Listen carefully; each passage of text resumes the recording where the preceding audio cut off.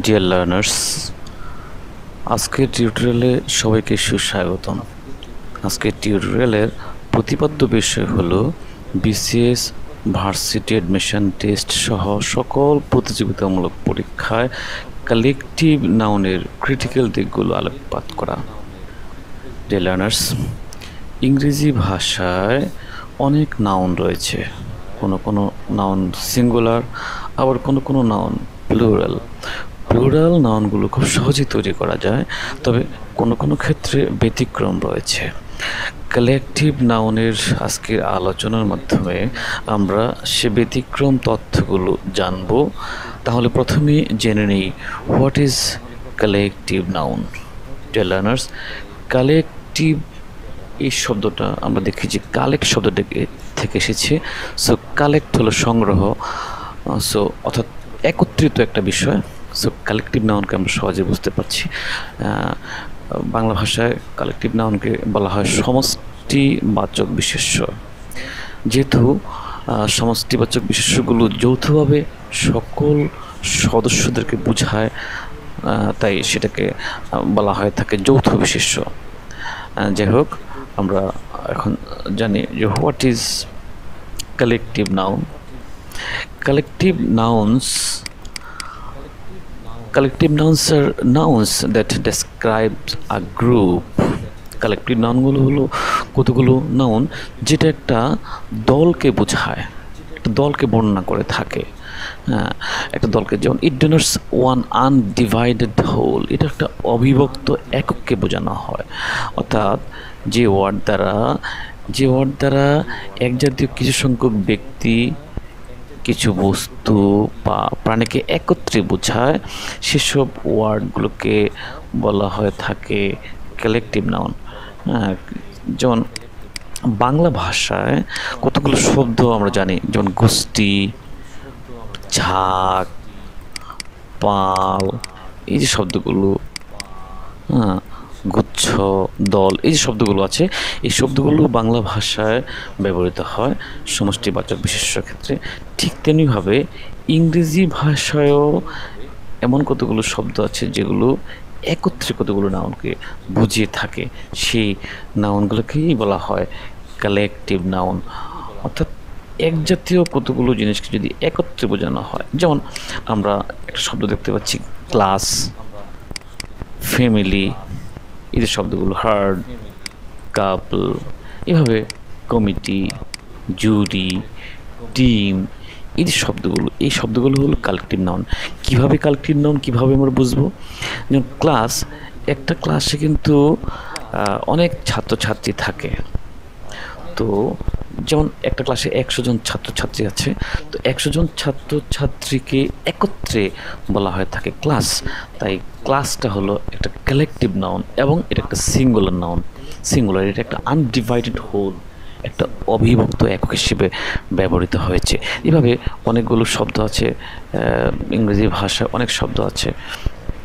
যেমন আমরা যদি এক্সাম্পলের মাধ্যমে দেখি তাহলে আমরা খুব সহজে বুঝতে পারব। যেমন এখানে একটা সেন্টেন্স রয়েছে our class our class consist of one hundred students এখানে ক্লাসটা হলো একটা ক্লাস আর স্টুডেন্ট হলো একশো জন। তাই স্টুডেন্টটা হলো কমন নাউন অর্থাৎ একশো জন ছাত্র মিলিয়ে হলো একটা ক্লাস যদিও এখানে একশো জন ছাত্রছাত্রী আছে। এটা প্লুরাল একটা বিষয়, কিন্তু এটা একটা আনডিভাইডেড হোল অর্থাৎ এটা একটা ক্লাস একটা শ্রেণি। তাই এটা হলো এই ধরনের নাউনগুলো যেটা এক জাতীয় অনেক সদস্যদেরকে বুঝিয়ে থাকে, সেসব নাউনগুলোকে বলা হয় collective noun in the same way যেমন আমরা এখানে দেখতে পাচ্ছি our team consist of fifteen I mean আমাদের এই টিমটা পনেরো জন খেলোয়াড় নিয়ে গঠিত। তাহলে পনেরো জন যদিও প্লেয়ার প্লেয়ার হলো একটা কমন নাউন কিন্তু টিম হলো একটা কালেকটিভ নাউন এভাবে স্টুডেন্ট হলো একটা কমন নাউন ক্লাস হলো একটা collective noun dear learners in the same way যেমন কি কি হলো একটা শব্দ চাবি? চাবি হলো একটা চাবি, কিন্তু যদি একটা কালেকটিভ নাউন তৈরি করতে গেলে যদি অনেকগুলো চাবির গুচ্ছকে বোঝানো হয়, তখন বোঝানো হয় যে a bunch of keys a bunch of keys I have lost my bunch of keys এখানে বাঞ্চ শব্দটা হলো কালেকটিভ নাউন যদিও এখানে এই কালেকটিভ নাউনটা স্বাধীন না, একটু পরাধীন। যেমন এর আগের কালেকটিভ নাউনগুলো যেমন class jury team committee audience onlooker এই যে এই যে কালেকটিভ নাউনগুলো এগুলো হলো স্বাধীন। স্বাধীনভাবে সে কালেকটিভ নাউন হিসেবে ব্যবহৃত হতে পারে। কিন্তু এই সেন্টেন্সের মধ্যে আমরা দেখতে পাচ্ছি, এ বাঞ্চ অফ কিজ এখানে এই বাঞ্চ এই শব্দটা, এটা একটা কালেকটিভ নাউন কিন্তু সেটা আরও কিছু শব্দকে সে ফলো করছে, অন্য শব্দের সাথে সে ব্যবহৃত হচ্ছে, সেই ওয়ার্ডগুলো ব্যবহৃত হচ্ছে। তাহলে এই শব্দগুলো, এই শব্দটা বাঞ্চ শব্দটা হলো কালেকটিভ নন তারপরে সেন্টেন্স আমরা দেখতে পাচ্ছি, এটা শব্দ জাজ জাজ।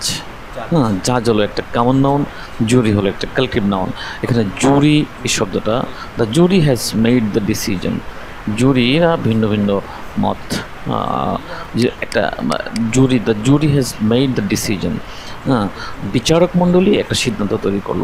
এখানে জুরিটা হলো কালেকটিভ নাউন যদিও এখানে জুরির মধ্যে অনেক জাজ রয়েছে, তাহলে জাজ হলো একটা কামন নাউন কিন্তু জুরি হলো একটা কালেকটিভ নাউন যদিও কালেকটিভ নাউন যদিও এখানে প্লুরালিটি আছে, কিন্তু তবুও সেটা হলো সিঙ্গুলারিটি অর্থাৎ এখানে একটা জুরি জুরি বোর্ড একটা জুরি বোর্ড একটা টিম একটা ক্লাস এইভাবে আমরা শব্দগুলোকে বুঝতে পারব। এই সব ধরনের শব্দগুলোকে ইংরেজি ভাষায় বলা হয়, থাকে কালেকটিভ নাউন কীভাবে অ্যানিমেল একটা শব্দ অ্যানিমেল এক, একটা অ্যানিমেল হতে পারে।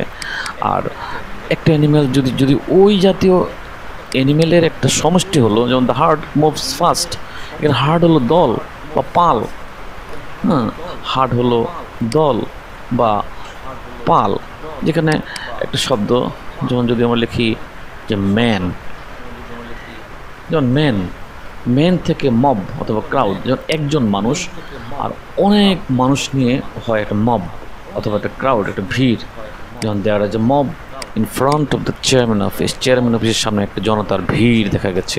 এখানে একজন মানুষ, কিন্তু এখানে অনেক মানুষ নিয়ে এলো একটা ভিড়, একটা গুচ্ছ। এখানে এক গুচ্ছ, অনেকগুলো লোককে একত্রে বলা হয় ক্রাউড এখানে মব কিংবা ক্রাউড হলো কালেকটিভ নাউন ইংরেজি ভাষায় এই ধরনের অনেক কালেকটিভ নাউন আছে। এখানে আমরা আর কয়েকটা সেন্টেন্স দেখি। যেমন এখানে একটা ক্লাস দিই the class is watching a movie এখানে ক্লাস একটা ক্লাস এই মুভিটা দেখছে, তারা দেখছে, তাহলে ক্লাস কিন্তু একটা, তাই সেটা সিঙ্গুলার সাবজেক্টের সাথে যে ভার্বের যে এগ্রিমেন্টটা হলো সিঙ্গুলার কালেকটিভ নাউনের সাথে সাবজেক্টের যে ভার এগ্রিমেন্ট সেটা হলো সিঙ্গুলার সেই জন্য ক্লাসের পরে সব ভার্বটা হয়েছে singular is the class is watching a movie অর্থাৎ ক্লাসটি একটা মুভি দেখছে, অর্থাৎ পুরো ক্লাসে সবাই দেখছে, কিন্তু সেটাকে না বুঝিয়ে একত্রে বলা হয়েছে যে class committee the committee chooses the new secretary committee chooses তাহলে কমিটি কী করল? নতুন সেক্রেটারিকে পছন্দ করল হ্যাঁ নির্বাচন করল। তাহলে এখানে কমিটিটা হলো কালেকটিভ নাউন কিন্তু কমিটির মধ্যে কিন্তু অনেক সদস্য রয়েছে। সো কমিটিটা হলো এখানে সিঙ্গুলার হিসেবে ব্যবহৃত হয়েছে, যদিও এখানে কমিটির মধ্যে অনেক সদস্য রয়েছে। তো কালেকটিভ নাউনগুলো হলো এমনই, এটা এক জাতীয় কতগুলো প্রাণী বা ব্যক্তি বা বস্তুকে একত্রে বোঝানো হয়, এটা সমষ্টিকে বোঝানো হয়। কোন একটা ঝাঁক একটা পাল, একটা দল, একটা গোষ্ঠীকে এভাবে বোঝানো হয় থাকে in the same way family the family takes a picture এখানে ফ্যামিলি শব্দটা হলো কালেকটিভ নাউন এখানে ফ্যামিলির মধ্যে যদিও অনেক সদস্য রয়েছে, কিন্তু একটা ফ্যামিলি সদস্য বেশি, অনেক সদস্য ব্লুরাল কিন্তু ফ্যামিলি হলো একটা। তাই কালেকটিভ নাউনগুলো হলো আনডিভাইডেড হোল এবার প্রশ্ন হতে পারে, ইংরেজি ভাষায় how many collective nouns are there in English ইংরেজি ভাষায় কয়টি কালেকটিভ নাউন আছে? There are about two hundred collective nouns in English ইংরেজি ভাষায় প্রায় দুশো এর প্রায় দুশো কালেকটিভ নাউন রয়েছে, যেগুলো আমরা সবগুলো আমরা ডিসক্রিপশান বক্সে আমাদের F I English window YouTube চ্যানেলের ডিসক্রিপশান বক্সে আমি সবগুলো সবগুলো, প্রায় সবগুলো দিয়েছি।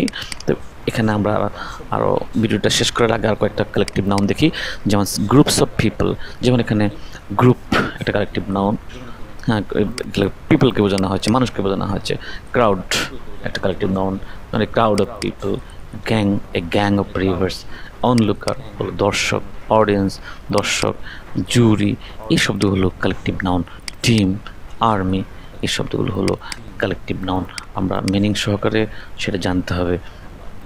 তো যেমন এভাবে আর কতগুলো শব্দ আছে, যেমন কালেকটিভ নাউন্সের গ্রুপস অফ অ্যানিমালস যেমন হার্ড হ্যাঁ হার্ড হলো প্রাণীকে বোঝানো হয়ে থাকে? যেমন a herd of cattle a herd of buffalo a herd of antelope এভাবে যদি বলা হয়